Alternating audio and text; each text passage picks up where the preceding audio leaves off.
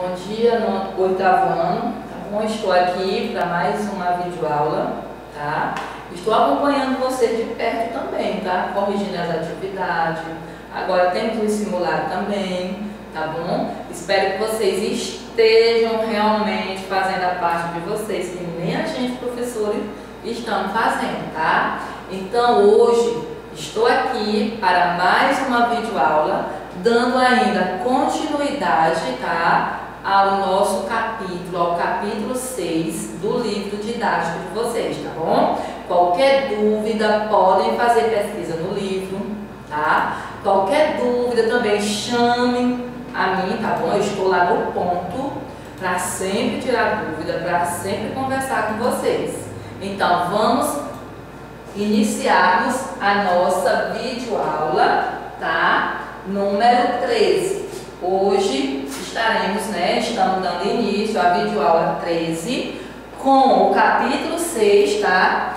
Aonde temos o assunto, aonde a gente tem o período, né, isso? O período simples e o período composto. Eu tenho certeza que vocês sabem o que eu estou falando, né, isso? Eu sei que vocês sabem o que é frase, e vocês sabem também o que é período, né? Isso, por isso que ele é chamado simples e composto. Eu acredito que todo mundo, todos os 10 sabem do que eu estou falando. Então vamos lá. Período. O que é período? O que é que vocês entendem por essa palavra, período?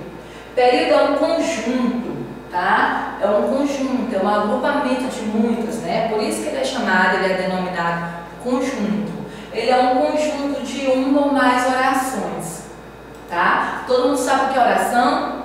Sim, né? Orações são verbos. Por isso que ele diz que ele é formado, ele é um conjunto de uma. Ele pode ter uma oração, mas pode também ter mais de uma. Por isso que ele denomina, né? É um conjunto de uma ou mais orações que apresenta sentido. Sim, as orações apresentam sentido geral autônomo em relação aos enunciados que o procedem ou sucedem. Então, nós temos dois tipos de período, por isso que ele é simples. Ele vai ser simples quando ele é formado por uma só oração, resumindo por um só verbo. Período composto, quando ele é formado por duas ou mais orações, ou seja, por dois ou mais verbos. Esse é o conceito de período, período simples, período composto. Por isso que ele é chamado, é denominado de conjunto. Conjunto quer dizer que é mais de uma coisa, né? Ele é formado por várias. No exemplo aqui, corram. Nesse exemplo, eu tenho a presença de um período Sim, eu tenho a presença de um período simples. Por quê? Porque ele é formado por um só verbo, verbo corram, que vem do verbo correr. No exemplo 2 aqui, já é diferente, ó. É bom que ela venha amanhã e traga os livros. Nesse exemplo, nós temos um período composto, porque ele é formado por mais de dois verbos, por mais de um verbo. Nesse caso, ó, eu tenho aqui o exemplo, né? Do verbo é, que é do verbo ser, o verbo venha e temos também a presença do verbo traga. Então, nesse caso, eu tenho três verbos. Se eu tenho três verbos, eu tenho mais de uma oração. Então, como é que eu denomino como é que eu chamo esse período? Período composto, porque é formado por mais de uma oração. É formado por mais de um verbo. No exemplo 3, o mar estava calmo. Observe que nesse exemplo eu tenho a presença de um verbo. Eu tenho a presença de uma oração do verbo estava, não é isso? Nesse caso, eu só encontrei uma oração, eu só encontrei um verbo. Nesse exemplo, eu tenho a presença de um período simples, porque é formado por uma só oração. Seguido a gente tem outros exemplos. O período, ele pode ser simples e composto. Período simples, quando encerra apenas uma oração, quando ele é composto por um só verbo, não é isso? Três paixões governaram minha vida. Observe que nesse exemplo nós temos a presença ó, de uma oração. Ela é formada por uma só governaram. Nesse exemplo, eu tenho a presença de um só verbo. Então aqui eu tenho um período simples. Vou trabalhar cedo amanhã. Observe também que nós temos uma locução, entendeu?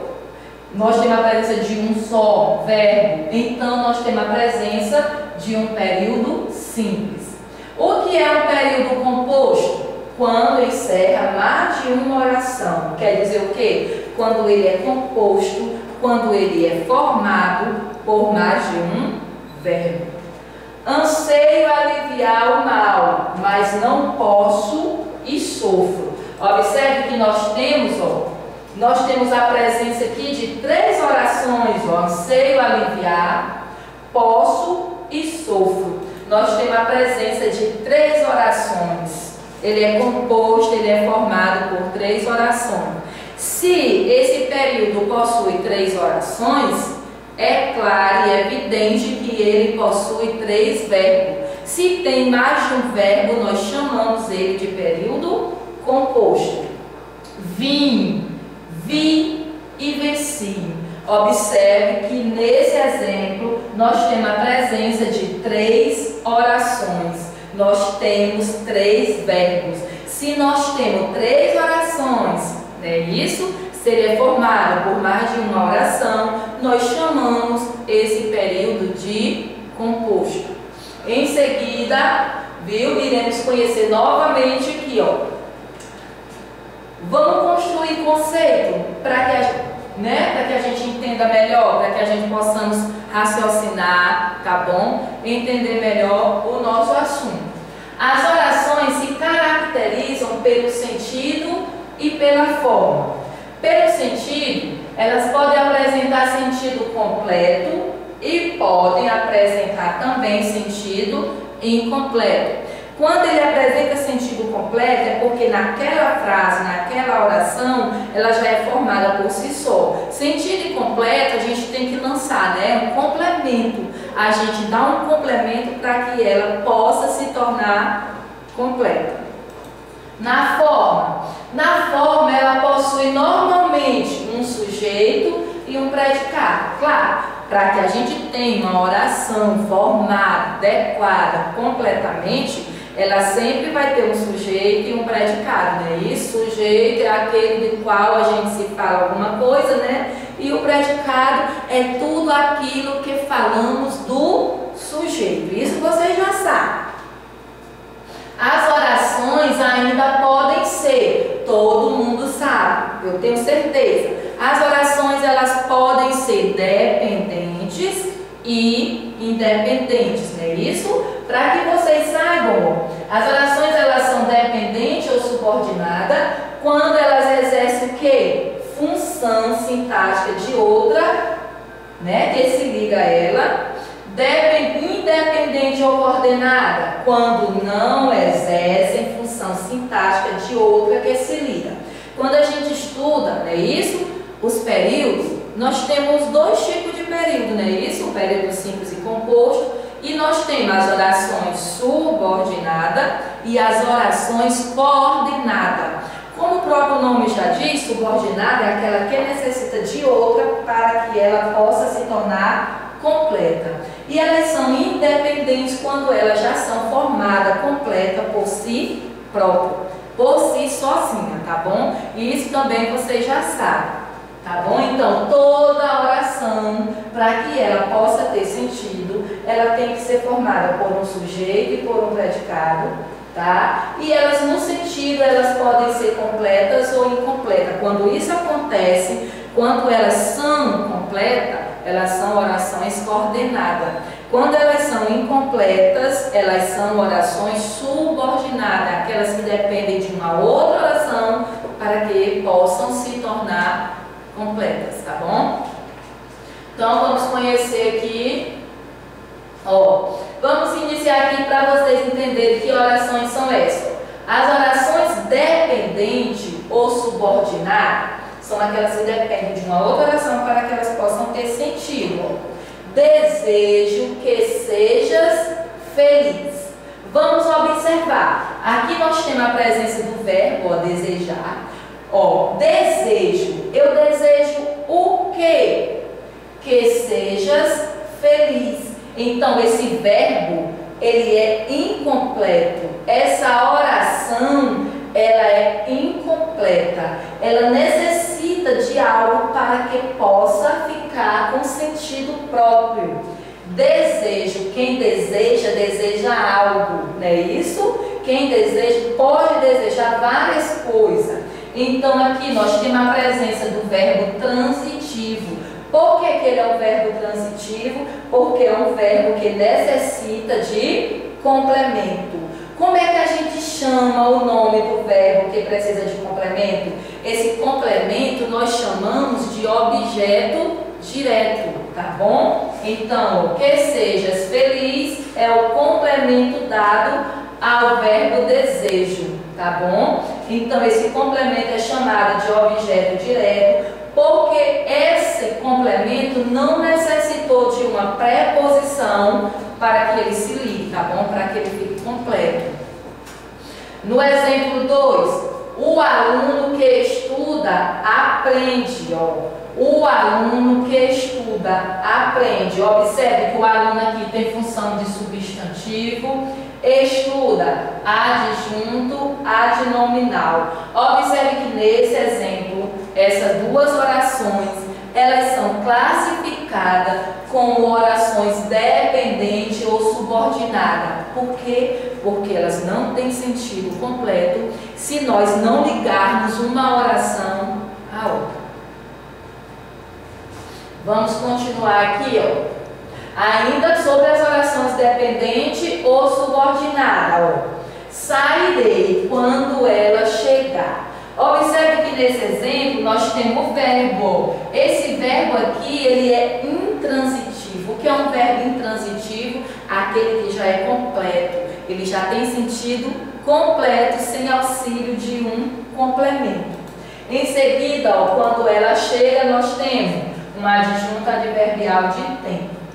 Ó, aqui nesse caso nós temos a oração será principal. Quando é que a oração vai ser principal? Quando exige outra que ele seja dependente. Nesse caso aqui também a oração principal ela necessita de algo, de um complemento para que ela se torne né, dependente.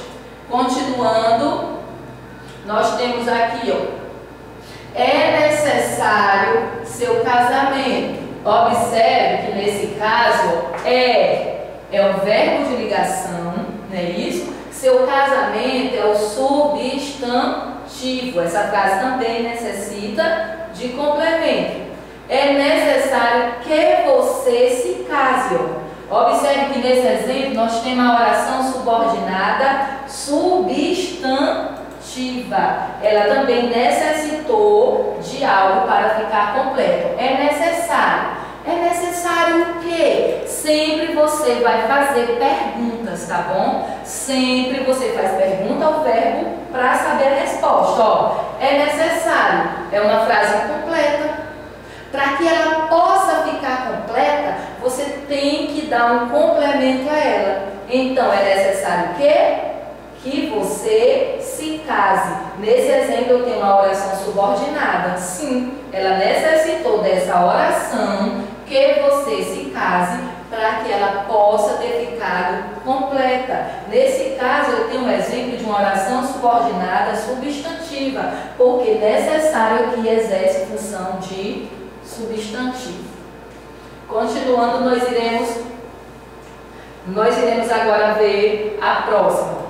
Nesse caso aqui, ó, o aluno comportado é elogiar.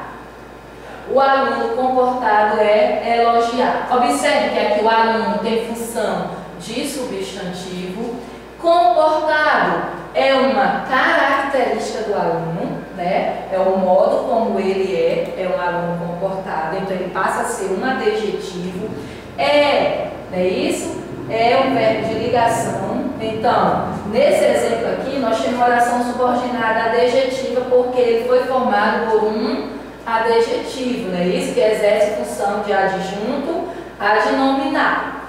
O aluno que se comporta é elogiado. O aluno substantivo, né, comporta é o verbo intransitivo, é elogiado, nós temos aqui ó, o verbo de ligação e comporta aqui, ó, que se comporta tem função de adjunto adnominar. Observe que nesses três exemplos que foi mostrado, foi só uma forma de você compreender que as orações, elas podem, elas podem ser dependentes ou independentes. Quando elas são dependentes, elas são chamadas de subordinada. Elas necessitam de uma outra oração, para que possa se ligar a ela, para que ela se torne completa. As orações independentes, elas são chamadas de orações coordenadas, não é isso? Quando você estuda as orações coordenadas, lá você vai aprender, né, que elas são classificadas em cinco tipos, né? Cada uma tem suas respectivas conjunções. Então, só lembrando a vocês, tá, que as orações, é isso? O período, ele pode ser chamado de dois tipos. Ele se classifica em simples e composto. Esse simples formado por uma só oração ou um só verbo composto formado por duas ou mais orações ou verbo. Se você não entendeu o que é oração, oração também nós chamamos, nós denominamos de verbo. Tá bom? Isso é só um conceito para que você possa entender. E não esqueçam que lá no período, né, as orações, como foi dito, elas são classificadas. As orações podem ser dependentes ou independentes tá bom? Já foi falado e eu espero que vocês tenham aprendido. Qualquer dúvida, vai lá no capítulo 6, tá? Na página sobre período simples e período composto. Depois que a aula for colocada, tá? Que a videoaula for enviada para o canal, nós iremos, tá? Eu irei lá no grupo e dizer o que que vocês terão que fazer com ela, tá bom? Aí a gente tem um exemplo aqui também, ó. Viajaremos pela manhã.